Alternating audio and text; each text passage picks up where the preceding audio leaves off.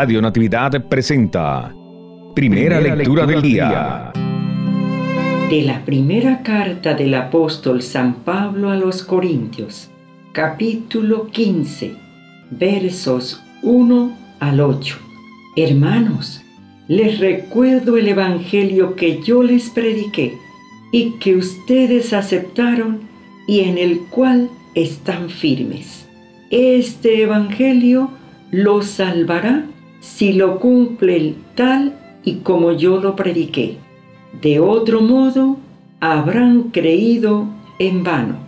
Les transmití ante todo lo que yo mismo recibí, que Cristo murió por nuestros pecados, como dicen las escrituras, que fue sepultado y que resucitó al tercer día, según estaba escrito que se le apareció a Pedro y luego a los doce.